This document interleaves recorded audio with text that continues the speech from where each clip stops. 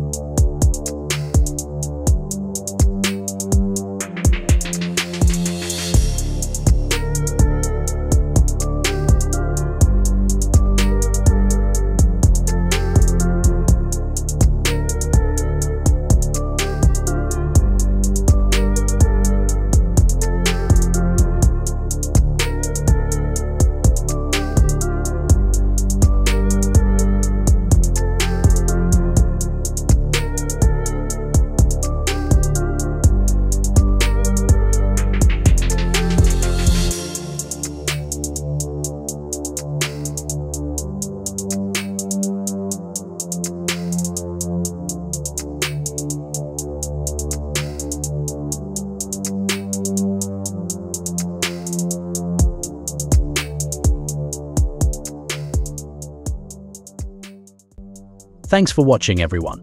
I hope this comparison helped you get a better idea of which flagship is the best fit for you.